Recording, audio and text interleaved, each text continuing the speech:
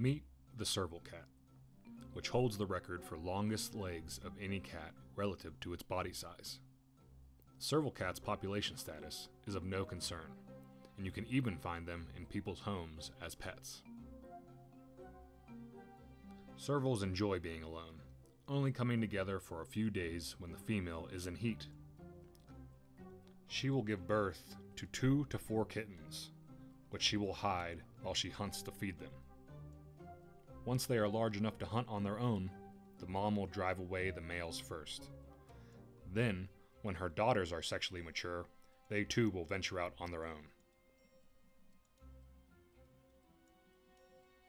The serval cat's range covers about the bottom two thirds of Africa, minus parts of Namibia, Cameroon, and the Congo.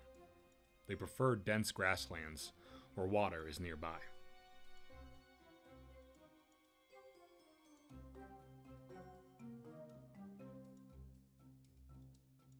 The serval cat is a carnivore and relies on their sight and hearing for catching prey, which they will often play with before eating.